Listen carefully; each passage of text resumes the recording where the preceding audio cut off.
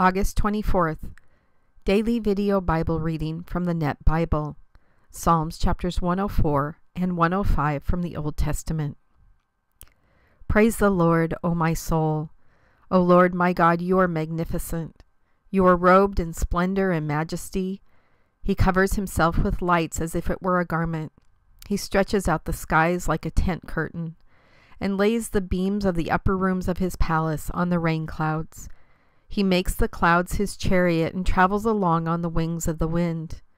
He makes the winds his messengers and the flaming fire his attendant.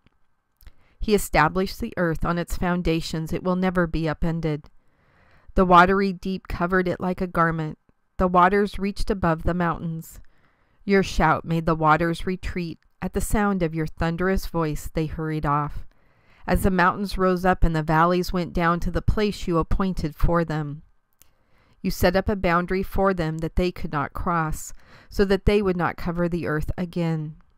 He turns springs into streams, they flow between the mountains. They provide water for all the animals in the field. The wild donkeys quench their thirst. The birds of the sky live beside them, they chirp among the bushes. He waters the mountains from the upper rooms of his palace. The earth is full of the fruit you cause to grow. He provides grass for the cattle and crops for people to cultivate so they can produce food from the ground, as well as wine that makes people feel so good, and so they can have oil to make their faces shine, as well as food that sustains people's lives.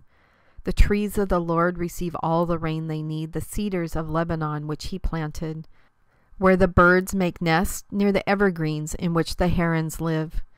The wild goats live in the high mountains. The rock badgers find safety in the cliffs. He made the moon to mark the months, and the sun sets according to a regular schedule. You make it dark, and night comes, during which all the beasts of the forest prowl around. The lions roar for prey, seeking their food from God. When the sun rises, they withdraw and sleep in their dens. Men then go out to do their work and labor away until evening. How many living things you have made, O Lord! You have exhibited great skill in making all of them. The earth is full of the living things you have made. Over here is the deep, wide sea, which teems with innumerable swimming creatures, living things, both small and large. The ships travel there, and over here swims the whale you made to play in it. All of your creatures wait for you to provide them with food on a regular basis. You give food to them and they receive it. You open your hand and they are filled with food. When you ignore them, they panic. When you take away their life's breath, they die and return to dust. When you send your life giving breath, they are created and you replenish the surface of the ground. May the splendor of the Lord endure. May the Lord find pleasure in the living things he has made. He looks down on the earth and it shakes. He touches the mountains and they start to smolder. I will sing to the Lord as long as I live. I will sing praise to my God as long as I exist. May my thoughts be pleasing to him. I will rejoice in the Lord. May sinners disappear from the earth and the wicked vanish. Praise the Lord, O my soul. Praise the Lord. Give thanks to the Lord, call on his name, make known his accomplishments among the nations. Sing to him, make music to him. Tell about all his miraculous deeds. Boast about his holy name. Let the hearts of those who seek the Lord rejoice. Seek the Lord in the strength he gives. Seek his presence continually. Recall the miraculous deeds he performed, his mighty acts, and the judgments he decreed. O children of Abraham, God's servants, you descendants of Jacob, God's chosen ones. He is the Lord our God. He carries out judgment throughout the earth. He always remembers his covenantal decree, the promise he made to a thousand generations, the promise he made to Abraham, the promise he made by oath to Isaac. He gave it to Jacob as a decree, to Israel as a lasting promise, saying, To you I will give the land of Canaan as the portion of your inheritance. When they were few in number, just a very few, and resident aliens within it, they wandered from nation to nation and from one kingdom to another. He let no one oppress them. He disciplined kings for their sake, saying, Don't touch my chosen ones. Don't harm my prophets. He called down a famine upon the earth. He cut off all the food supply. He sent a man ahead of them. Joseph was sold as a servant. The shackles hurt his feet. His neck was placed in an iron collar until the time when his prediction came true. The Lord's word proved him right. The king authorized his release. The ruler of nations set him free. He put him in charge of his palace and made him manager of all his property, giving him authority to imprison his officials and to teach his advisers. Israel moved to Egypt.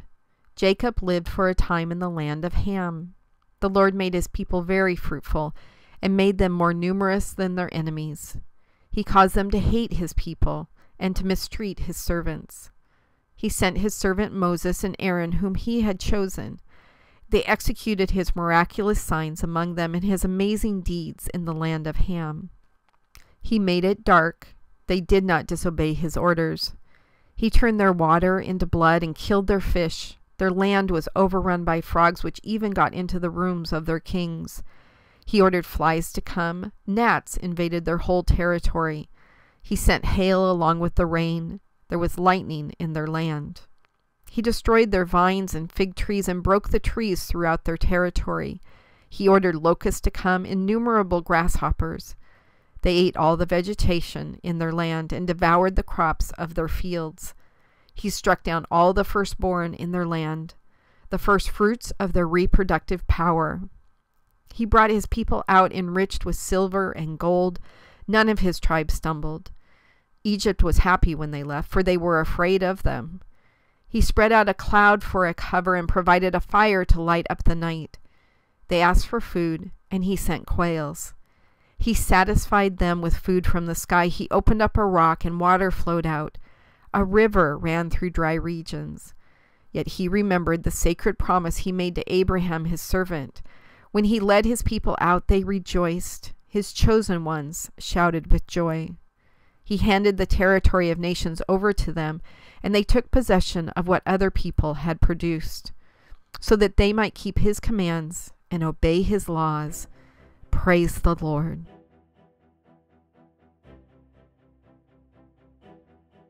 God, thank you for such beautiful reminders of how my relationship should be healthy with you. Um, these Psalms uh, not only talk about the beginning of the world and all of the amazing things that you've created for us to live here within and amongst in this world, but then Psalm 105 goes on to talk about your protection, your love, your consistency of that. You know, I've been struggling, especially this past week, with I don't know, you know, with with frustration and agitation and trying not to be angry over a situation that's flared back up again in my life, something that I had no power over, but now I have to deal with. And remembering my place in this world, that it's not one of the world, but it's one of you. It's your child, God, and remembering that all of these other labels and situations that people have chosen to put me in, those aren't the truth. The truth is that you created a world for us to live among because you loved and cared about us so much that you created all this amazingness in this world. And so, first and foremost, a great reminder to keep my mind and my heart on the positive things of this world. There is so much to be thankful over, so much to be thankful of. That I only have to look out my front window and see how beautiful and incredible everything is in my life. Help me focus on the positive first and foremost, God. Second, the fact that that you not only are willing but definitely take care of me that you have my best interest at heart it was so amazing that this was the reading for today because just this morning on facebook i posted a quote from uh, charles spurgeon preacher charles spurgeon that says remember this had any other condition been better for you than the one in which you are divine love would have put you there so, God, today I thank you. Instead of being belligerent about it, I thank you for the situation I'm in. I'm in it for some reason, and it's for some reason that is known only to you. And that has to be okay. I just need to do what I'm supposed to in this situation. first and foremost, praise you and thank you for all that you've given me.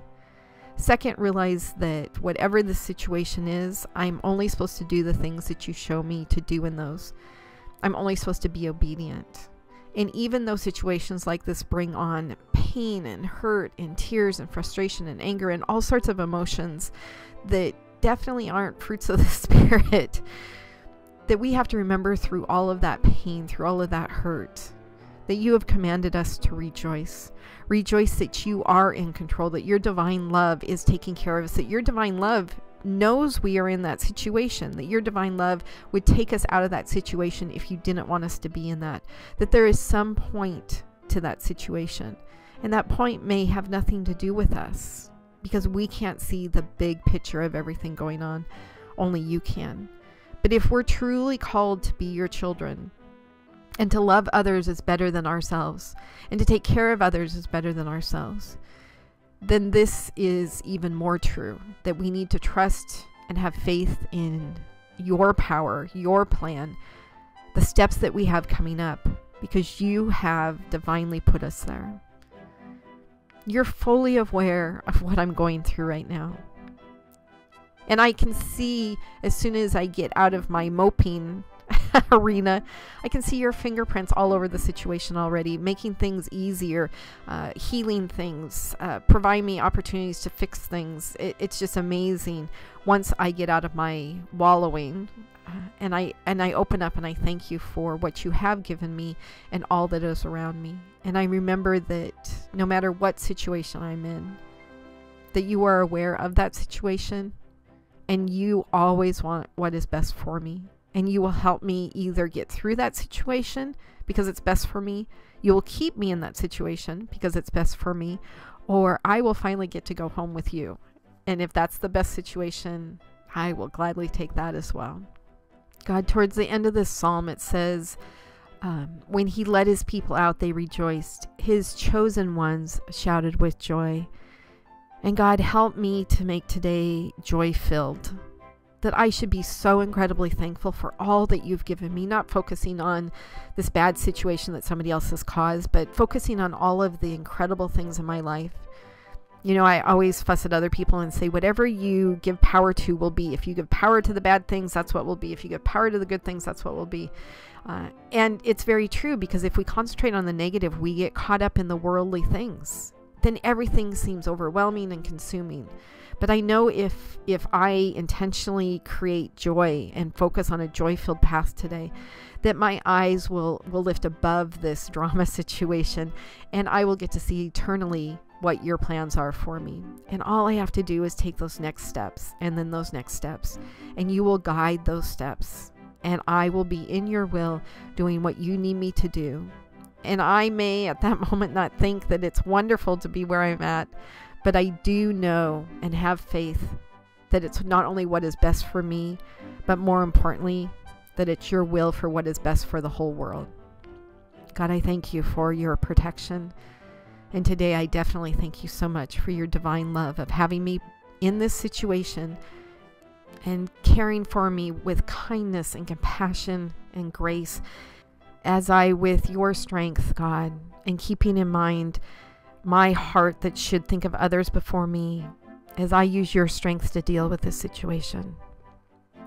In your son's name I pray. Amen.